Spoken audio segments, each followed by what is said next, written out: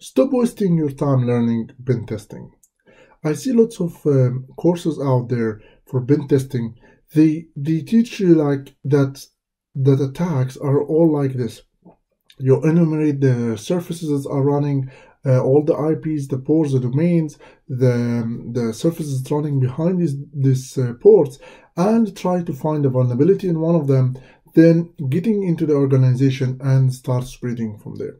Or another courses that teach you web bug hunting and they tell you like all the success is all about or all the attacks is all about web. They try to find SQL injection or XSS or, or path traversal attack or whatever the vulnerability is. And this way they can get into the organization. Which all of these ways are used to be used before, but right now most of the attacks don't look like that. Before I get to tell you what how uh, real attacks look like, let me introduce myself. My name is Amr Thabet and I used to work in Symantec in the attack investigation team, tracking down all the top actors in the uh, in the cybersecurity field, all the big organizations, all big gangs that attack big organizations or big companies like um, like Sony or or different banks like um, like Bank of America or Bank of Bangladesh or whatever the big targets are. Mostly like enterprises or uh, governments or uh, um, or embassies or like a company that has a, big uh, financial or um, like a big financial uh, as a big financial resource uh, or as well they have some political motivation behind these attacks. What's common between all of these attacks is that they rely on the first thing that they rely on, which, which was common between almost all of these attacks, that they develop their own malware. Most of these attacks are actually malware attacks. They get into the organization by sending uh, their own customized malware, either to uh, through a spear phishing or through whatever the social engineering they, they go for.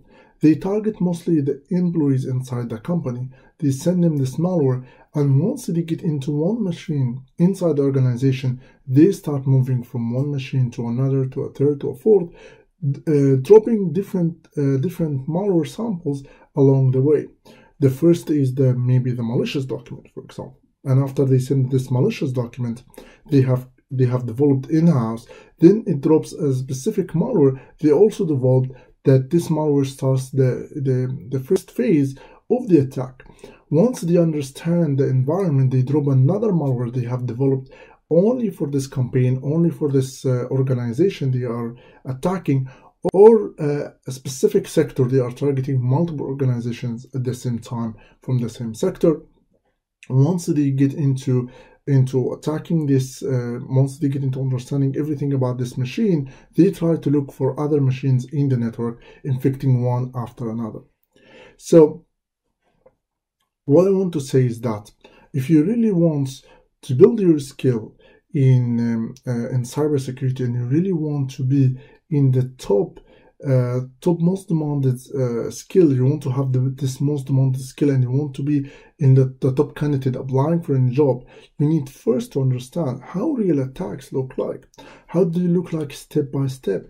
And what are the steps that companies or organizations are taking to defend against these attacks?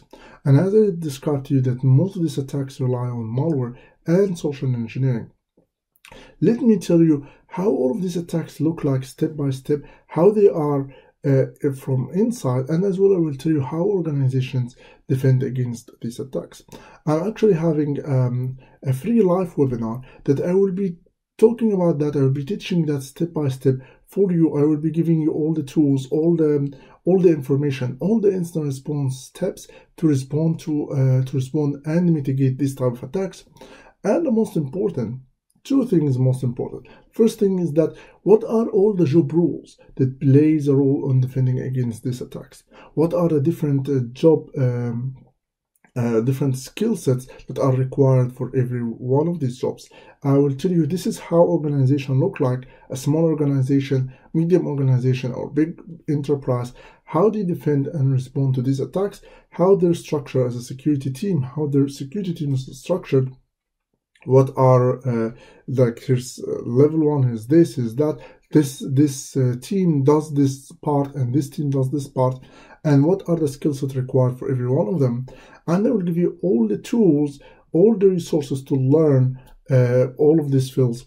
So it's it's actually free so just like sign up uh, save it uh, in your calendar. I will send you also uh, if you register i will send you uh, a link to add it to your calendar including the link to how to join. So once you register add it to your uh, calendar and get um, get show up into this webinar. It will be free. It will be it will be live. We'll have a qa as well. So make sure that you are there and see you in the webinar. Bye bye